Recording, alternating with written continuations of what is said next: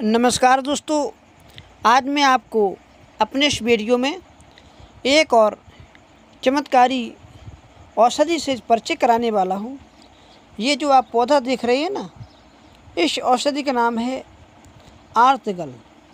इसको आर्तगल या फिर भाट कटैया के नाम से जाना जाता है।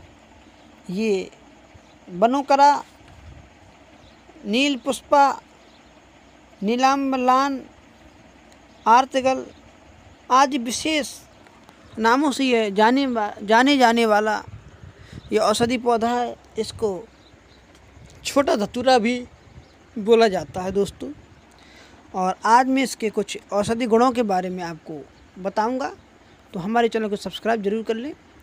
ये जो दोस्तों आप देख रहे हैं इसकी टहनी, अगर जिन हमारी माताएँ बहनों को पीरियड रुक गया है तो फिर भी इस औषधि के पत्तों को आधा तोड़ करके और उसको या तो मसल करके ऐसी छोटी गोलियाँ बना के खा जाएँ, या फिर पीस करके रस निकाल करके पी जाएँ तो बहुत बरसों से रुका हुआ पीरियड भी दो तीन दिन में चालू हो जाता है। और जो इसकी जड़ है, इसकी जड़ बहुत ज़्यादा काम में आती है, श्वास के यानी कि अस्थमा के मरीजों को।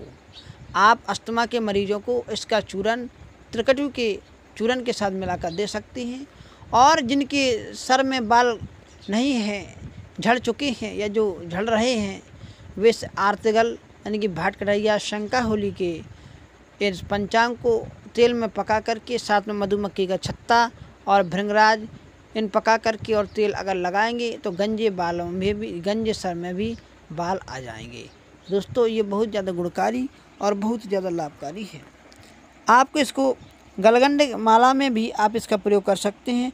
मूत्र विकार में भी ये बहुत ज़्यादा लाभकारी है और कैंसर के मरीज़ को जो दवा देते हैं वैद हकीम, वे कहीं कहीं इन पत्तियों को द्रोण पुष्पी और पुनर्नवा के साथ दिया जाता है तो बहुत ही फास्ट रिज़ल्ट होता है कैंसर को रोकने में। तो दोस्तों, ये बहुत ज़्यादा गुणकारी है। इसका लाभ ज़रूर उठाइए आप।